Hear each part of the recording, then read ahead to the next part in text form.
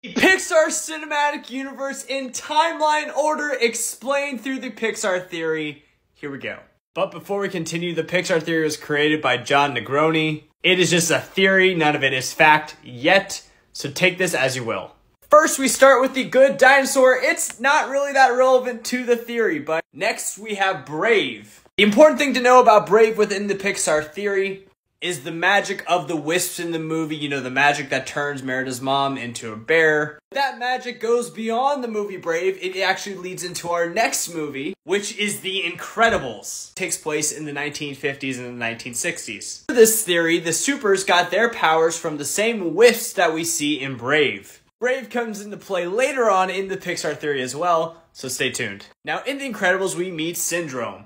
Basically gives himself powers with his own tech, using something called zero point energy. We'll get back to that. Next on the timeline, obviously, we have The Incredibles 2.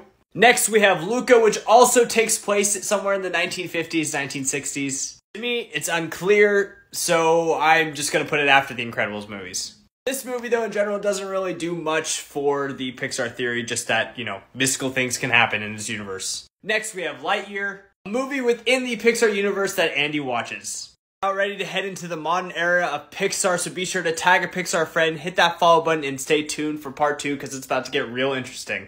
Now, we left off in the 1990s with Toy Story, but we need to go back just a little bit further. So, if y'all remember, we talked about Syndrome and his little wristband here. Said wristband was powered by zero point energy with the idea of using energy to create things in this universe, it's not unreasonable to believe that companies like Buy n Large, who pop up throughout the Pixar universe, can use that energy to harvest human emotion. And through that human emotion, toys come to life. A big theme throughout the Pixar movies is that human emotion, love, whatever, is incredibly powerful. And Toy Story is the beginning of proving that theory.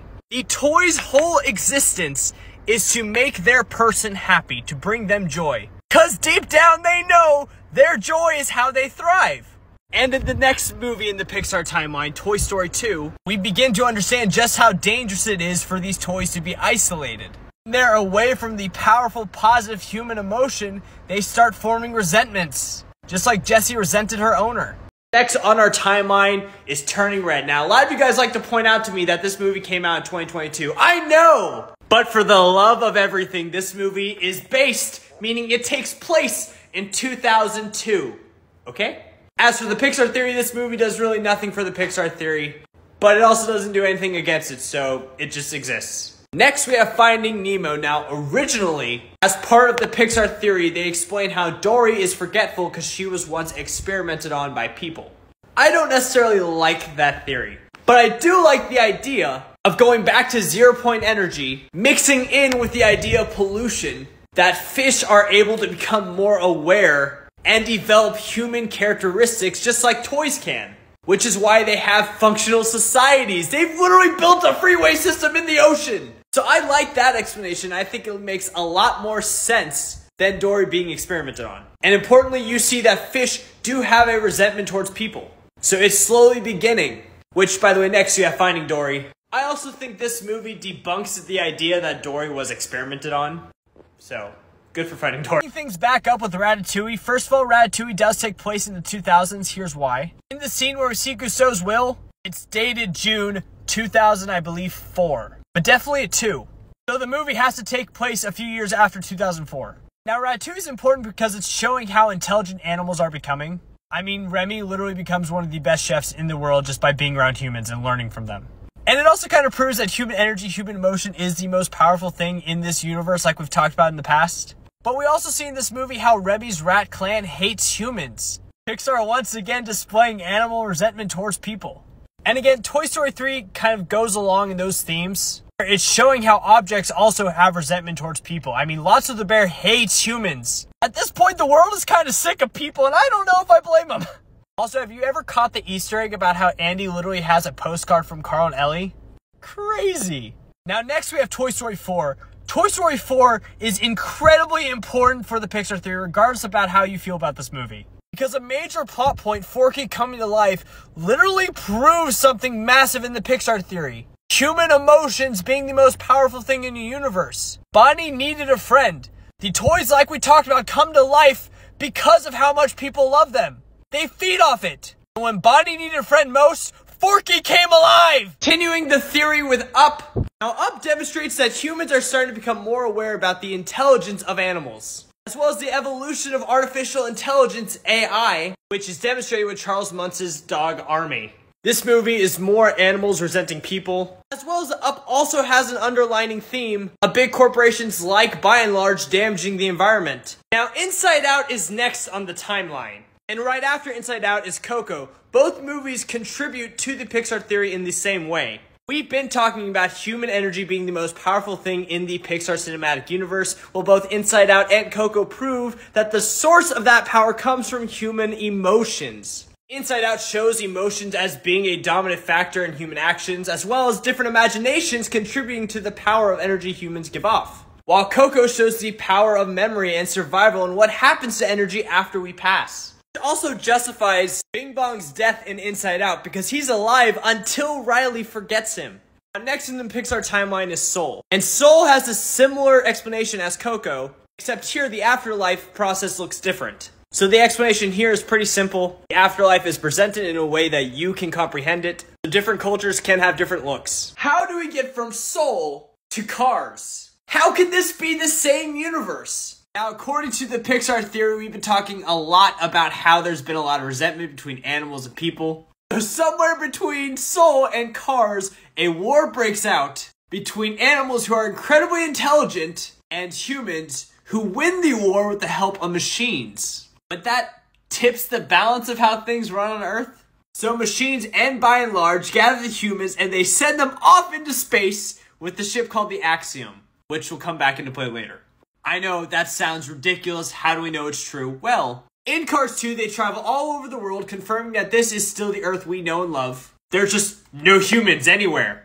The movie also reveals that they are experiencing a gas shortage, and Allinol Corporation was trying to use green energy to turn cars away from other alternative energy sources. Because clean fuel would have swiftly wiped out all the cars. Anyway, Allinol was run by Buy n Large. At the end of the day, machines can't survive without people. Cars 3 mentions a crab, showing that other life can live on Earth besides machines as well during this time.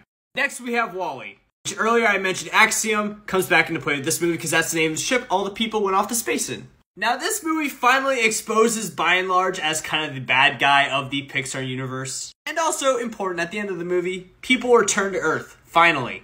More than that, machines realize humans depend on them, giving them purpose. And also, two significant things from WALL-E. The two things that live on Earth that are not machines, a plant and a cockroach. Now, this is where the theory gets absolutely insane. 100 year time jump people are trying to repopulate the Earth. At the end of WALL-E, you see that plant in the boot become a tree in the credit scenes. That tree is where the bugs in Bugs Life live. And the genetic makeup of insects has evolved, making them far more advanced. And as of right now, insects are the dominant species on Earth.